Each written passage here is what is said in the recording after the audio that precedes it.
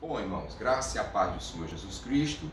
Estou mais uma vez aqui porque eu prometi que ajudaria os irmãos a fazer, a informar como, é, como é que eu faço vinho para a igreja, né? Para a Santa Ceia. Então, estou aqui com os elementos, aqui estão as uvas. Eu não preciso mais do que isso, né? As uvas, uma panela que eu utilizo para para poder amassar as uvas, as mãos sempre limpas, certo? O açúcar já está aberto aqui, para poder também ajudar na fermentação, tá? Aqui o recipiente onde eu vou ficar jogando as uvas amassadas e para ajudar os pastores, que eu sei que tem um pastor ainda da mensagem que dá a ceia dos irmãos com a, a, o vinho, né? Vinho comprado em mercantil, supermercado.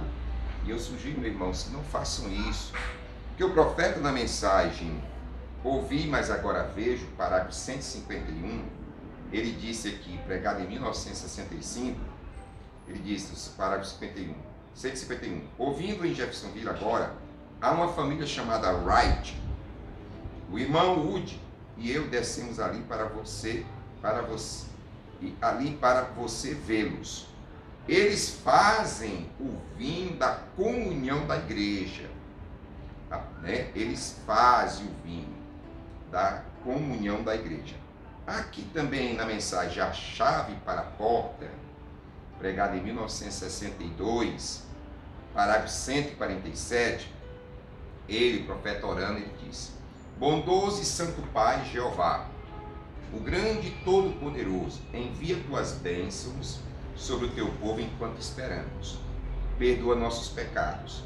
E agora te oferecemos esse sacramento, este vinho. As uvas cresceram e mãos de ministros as amassaram e foram transformadas em vinho para a causa que estamos agora trazendo a ti. Que isso possa representar para nós o sangue de nosso Senhor Jesus Cristo. Eu oro a ti, Pai, para que santifique o vinho, para este propósito. Hein? Então está aqui, o profeta, em duas mensagens, ele mencionou isso que tinha que ser feito. Primeiro, família Wright, né, da viúva, e acredito que era a viúva, e tinha também, ele disse que tem que ser por mãos de ministros, não pode ser um vinho comprado em outro lugar. Então faça seu vinho. E é muito simples. Certo? Pronto, você joga as uvas aqui, tá? Vai separando as uvas. Eu coloco geralmente, vou fazendo logo, compro de meio e meio quilo, porque eu não tenho aonde comprar diretamente lá do, lá do sul, tá certo? E com as mãos limpas você começa a amassar.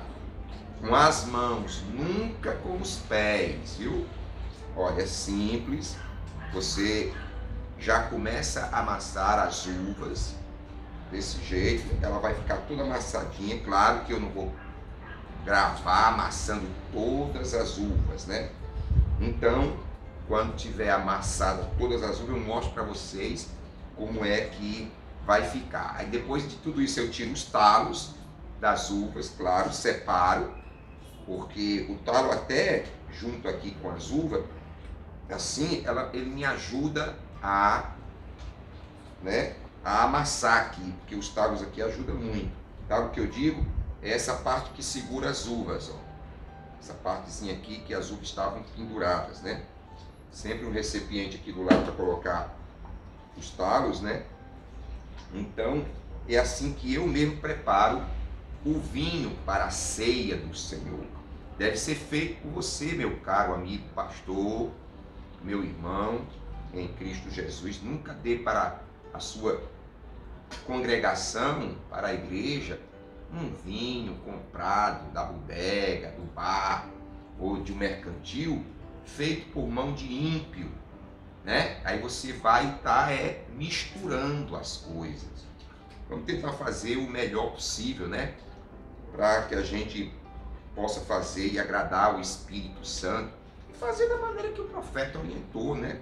ele disse que tinha que ser feito por mão de ministros, por mão de santos. Se você não é, quiser fazer, separe um diácono, um irmão, para fazer não é, o vinho da ceia, né? E aqui você vai separando o que?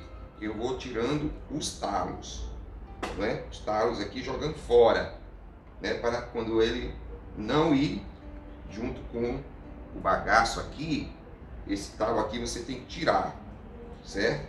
Você vai tirar aqui os talos, jogando aqui no recipiente aqui para depois jogar fora. Mas tá aí, ó. Então ele fica assim, ó. Eu acredito que, dê pra, que dá para você ver. Ó, tá? Ó, fica desse jeito aqui. Isso aqui, certo?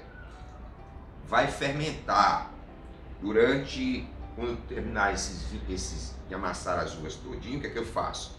Eu coloco durante cinco dias. Nos três primeiros dias, o que eu faço? Eu de manhã e à noite eu mexo um pouco. Depois que toda ela tiver, pulou mãe.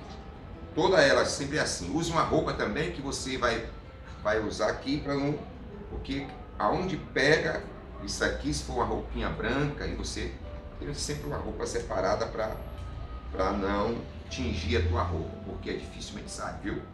Sai não, fica lá e você vai perder a sua roupa. Então, prepare uma roupa aí para fazer esse tipo de trabalho, viu? Tá aqui. Então, você vai fazer isso aqui com todas as uvas. Não precisa lavar a uva. Eu nunca lavei. E os vinhos saem muito bom, viu? Primeiros três dias, o que, que eu faço? De manhã e de noite, eu mexo para que as uvas, né, de manhã e de noite, quando elas estão aí ainda nesses três primeiros dias. Por quê? Para se desprender da casca da uva, aquela cor bonita, né? Para ficar mais bonita ainda a cor da uva. Então você vai amassando, paciência, coloque um louvor, fique em espírito, né? E você vai fazer isso aqui com todas as uvas, ó. Olha como é que faz, ó. Eu jogo aqui. Né? Certo? Quando eu tiver terminado de amassar todas as uvas, a gente volta, tá bom? Chegou a hora de colocar o açúcar. Você vê que agora aqui já está já as uvas todas elas esmagadas, viu?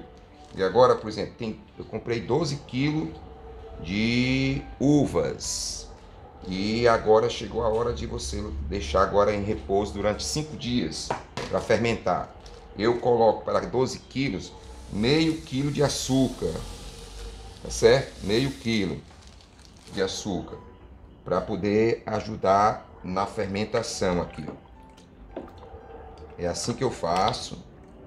12 quilos de, de uva Aí tem isso aqui, você vai deixar agora aqui, ó. Depois de toda ela espremida, amassada. Fica Muito bem. Assim. Depois que eu coloquei o açúcar, tá certo?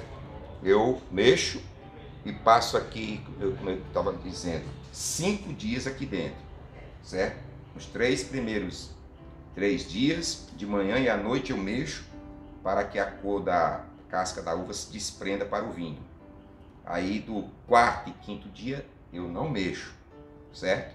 No quinto dia é que eu vou tirar esse bagaço aqui e colocar o líquido, certo? Para uma garrafa. E aí eu vou continuar e vocês vão. Primeiro dia, como eu disse, eu mexo para que né, o, o vinho, ó, quando ele começar a fermentar mais ainda, ele se desprenda né, da casca ou a cor, viu? Olha aí como é que eu faço. Olha aí, o segundo dia, veja como é que ele já está aqui, ó, o vinho, viu? O segundo dia, ele já está bem mais, né, concentrado. Deixa eu ver aqui, ó.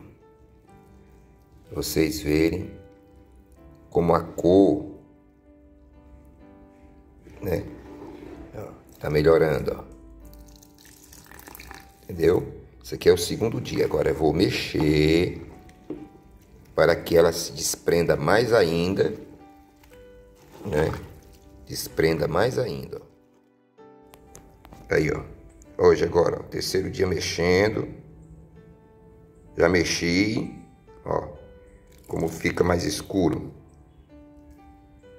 Tá entendendo? Pronto, já não mexe mais agora. Pronto, hoje foi o terceiro dia. Né? Não mexe mais. Quarto dia. Chegou a hora de tirarmos aqui, não é? Olha aí como foi que ficou. O líquido desceu todinho e ficou aqui só o bagaço por cima. Eu vou ter que tirar esse bagaço e colher o líquido e colocar em outros recipientes para poder colocar nas garrafas para o processo de continuidade da fermentação. Bom, hoje é o quinto dia. O quinto dia nós vamos hoje tirar, como eu mostrei para vocês aqui, todo esse bagaço e nós vamos colocar em um outro recipiente. Então, as garrafas já, todas elas já esterilizadas limpas para colocar o vinho. E aí o que, que eu vou fazer? Eu vou tirar daqui primeiro esse bagaço. Geralmente eu coloco, pego duas panelas, uma sendo furada, para que a gente possa aproveitar o mais possível do, do, do vinho, né? Vai sair daqui. E vou tirando, vou tirando o bagaço daqui colocando primeiro o bagaço aqui, vai escorrer um pouco do vinho para essa panela, já que ela também é uma peneira. Então você vai ver ó, que eu tiro o excesso de bagaço, ó, coloco aqui para ele escorrer e aproveitar o máximo possível né, do líquido, tá? Propriamente dito, correndo aí, que ela vai escorrer escorrendo à vontade. Pronto. Deixa aqui de um lado um pouco. Aí agora o que é que eu faço? Vou ter que ter um copinho limpo. E vou aqui agora tirando devagar para passar para essa recipiente o líquido que já que vai fermentar, né? Ó, eu faço? Claro que esse balde é bem lavadinho, direitinho. É assim que eu faço. Viu? com paciência. tem esse aqui que eu estou tirando. Boto aqui em cima. E aqui essa outra peneira. Ó. Olha aí. Mesmo assim, com toda essa peneira que eu estou fazendo aqui, ainda passa um pouco de borra. Né? Que eu coloco aqui também. Certo?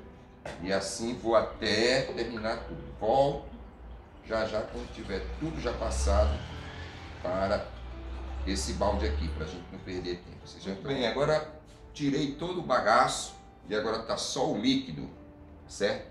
Só agora o líquido, ó, ainda está em processo de fermentação, né? E aqui para melhorar ainda, eu vou colocar dois scoops desse aqui de, não, uns 4 a 5 scoops desse de açúcar, tá certo? Para poder ele fermentar mais ainda, viu? Fermentação. Pronto. Não é mais do que isso. E a gente aí, você mexe, tá certo? Mexe um pouco, né? Para poder o açúcar fazer a ajudar na fermentação e fica um, um vinho mais gostoso. Se você não coloca o açúcar, ele fica meio, sabe, amargo no final. Eu não gosto muito, não. Eu gosto dele mais doce, sabe? Porque sangue é doce, sangue não é amargo. Né? E agora, com tudo limpo, está aqui a garrafa já. Né? A garrafa já esterilizada e tudo mais. Eu uso sempre a peneira também, bem depois de tudo isso. E já começa a passar para a garrafa. Certo? O vinho, a garrafa. 12 quilos de uva deu quase 9 litros. Deve, ter, deve estar aqui né? Aqui duas garrafas dessa, cada garrafa dessa deu é, 4 litros e meio. E essa aqui está quase cheia, essa aqui está cheia. Não, não enche até a tampa porque ele vai fermentar e vai sair aquela borra para não sujar e entupir isso aqui.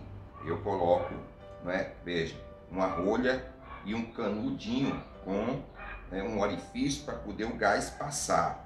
Então eu coloco aqui né, nas duas, tá certo?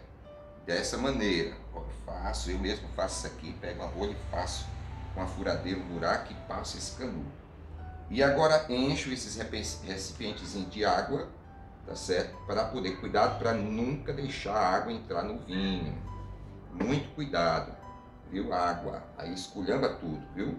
Então aí você bota e aqui é o momento da fermentação, ele vai começar a sair as bolhas, né? Quando ela tiver aqui já toda lacradinha, vai sair as bolhas, viu? E você vai ver que eu trabalho dessa maneira. Em 20 dias, depois de tudo isso aqui, pelo menos meu vinho já está pronto para ceia. Coloco isso aqui amarracinho, certo? Para ele não sair e pronto. E deixo ele até começar a borbulhar, porque vai fermentar aqui dentro e aí as bolhas vão começar a sair. Se tiver alguma borra, daqui a 10 dias ela repousa a borra e é essa borra que fermenta. O que, é eu faço? Daqui a 10 dias eu tiro, mudo as garrafas. Quero aqui agradecer o irmão Wilson, que foi o fornecedor das garrafas. Ele trouxe várias garrafas dessa para mim. Que Deus abençoe a vida do irmão Wilson, né? Para a gente poder fazer o vinho. Tem aqui umas seis ou oito garrafas dessas, acho que umas seis ou sete garrafas dessas, conseguida por ele. Vou até pedir a ele se tiver mais, traga para fazer uma quantidade maior, né? Então tá aqui, vamos aguardar ele agora começar a borbulhar, aí eu gravo como é que fica aqui o gás, acho que é gás carbônico, alguma coisa assim, começar a fermentar. Aí depois que para de fermentar, o vinho está pronto. Mas daqui a 10 dias eu vou ter que tirar daqui, porque vai ficar mais ou menos um dedo de porra aqui embaixo. Passo para outra garrafa limpa para diminuir a fermentação. Isso aqui é um processo rápido, né? E o vinho, pelo menos quando eu faço, é rapidinho para a gente ter a ceia. Já tenho lá meu estoque, tenho aqui ainda vinho, já fiz mas quando está só uma garrafa ou uma garrafa e meia, eu já faço mais para não faltar dos cultos de si. Então você, meu irmão pastor, tá aí é muito simples, depois veja aí o vídeo como é que é feito. Simples demais, qualquer um pode fazer. Então que Deus te abençoe em nome de Jesus Cristo e volto para mostrar ele já também fermentando. Viu? Tá bom? Deus abençoe. Até mais. Ó, quando ela começa, ainda está começando a borbulhar agora. Então essas bolinhas que começam a sair, né? É a fermentação. Olha como é que tá aqui, ó. Isso aqui tudo é fermentação, tá?